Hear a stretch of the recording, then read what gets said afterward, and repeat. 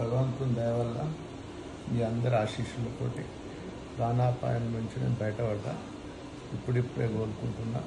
ఒక ఒక వన్ వీక్లో మీ ముందుకు వస్తా. దయచేసి మీరందరూ కూడా మీరందరూ ఎక్కడ కూడా టెన్షన్ పడాల్సిన అవసరం లేదు. నేనే అక్కడికి వస్తా. ఈ ఆసుపత్రికి వస్తే ఆసుపత్రి సిబ్బంది కానీ ఇక్కడ వసతులు కానీ సరిగా లేక వాళ్ళు ఇబ్బంది పడుతున్నారు. మరి ఐసీయూలో ఉన్నాం కాబట్టి వాళ్ళు అలో చేయట్లేదు. దయచేసి నేనే అక్కడికి వస్తే మీరు ఎవ్వరు కూడా హైదరాబాద్కి రాకుండా. Thank you